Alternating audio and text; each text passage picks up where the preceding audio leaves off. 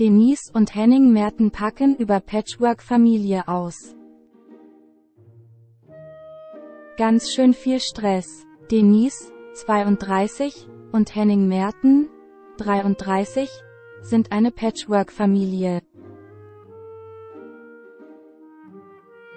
Aus ihrer Ehe mit Pascal Capes, 32, brachte sie den gemeinsamen Sohn Ben mit in die Beziehung mit Henning.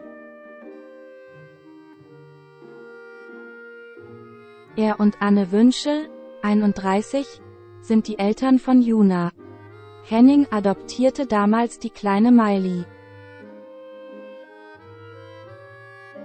Jetzt plauderten Denise und Henning über die Streitigkeiten, die in einer Patchwork-Familie gerade so lauern.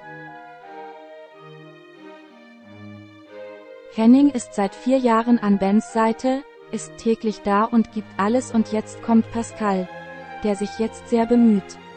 Aber es hat halt drei Jahre gedauert, erzählte Denise gegenüber Promiflash. Punkt. Pascal wolle jetzt nach Berlin ziehen, um mehr Zeit mit seinem Sohn verbringen zu können. Darauf waren wir nicht vorbereitet, sagte Denise ehrlich. Das seien dann Situationen, die man als Paar erstmal bewältigen müsse.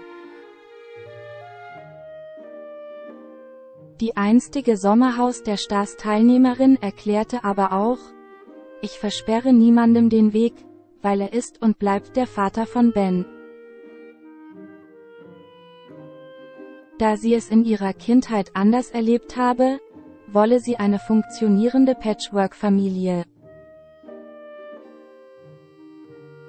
Deshalb störe sie auch die öffentliche Debatte mit Anne.